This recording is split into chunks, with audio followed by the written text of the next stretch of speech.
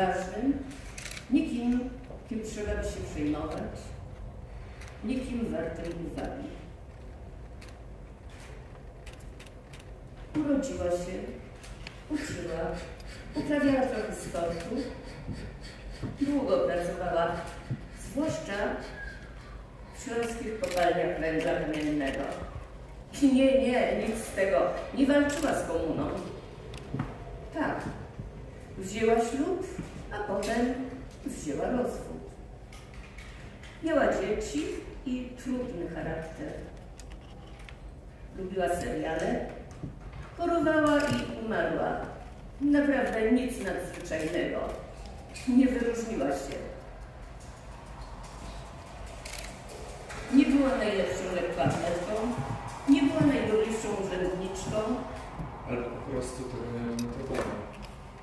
nie dorobiła się. Wprost przeciwnie. Ale nie poniosła też klęski. W końcu wychowała trójkę dzieci, posłała je w świat.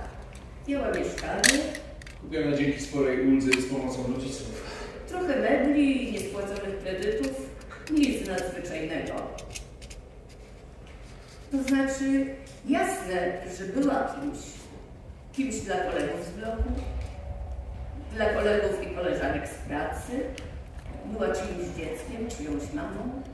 Kiedy umrę ja i moje rodzeństwo, nikt nie będzie pamiętał, że mama w ogóle była.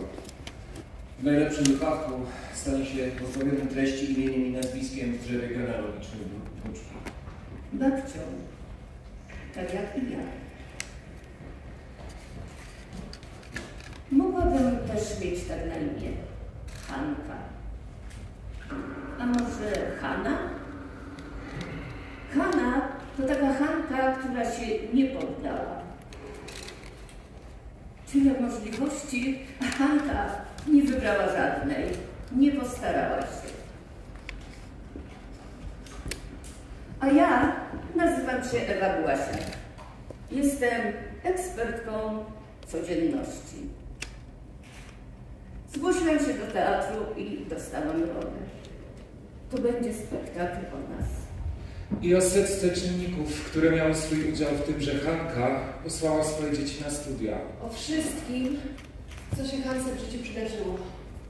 Miła nauczycielka w siódmej klasie szkoły podstawowej.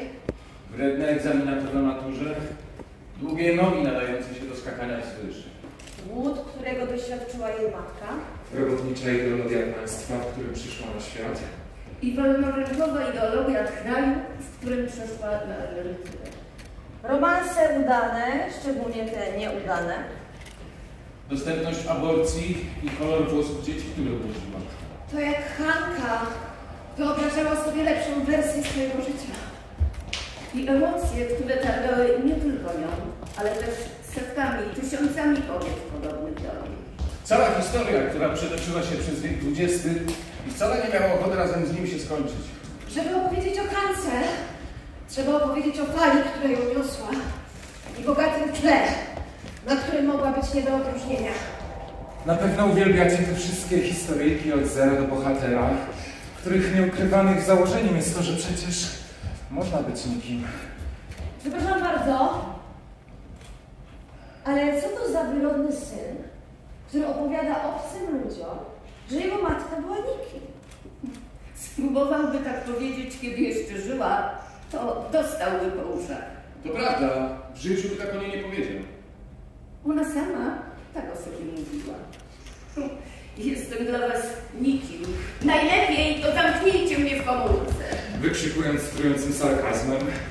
I to zawsze działało, bo zaraz ją trzeba było przekonywać, że nie, że wcale nie jest nikim. Nie no, ale z tą komórką to chyba trochę przesadziła. Jak opowiedzieć o życiu kogoś, kto nie stawił oporu historii? To dawało jej się unosić. Raczej kto był unoszony.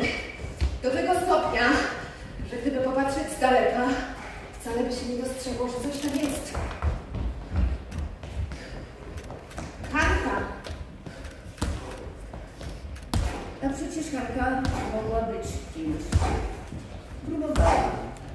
Skakała raz, i dwa, i trzy. Kolejno bijąc swój życiowy rekord w 1960, w 1961 i w 1962 roku. Okej, dziękujemy bardzo. To jest pierwsza scena.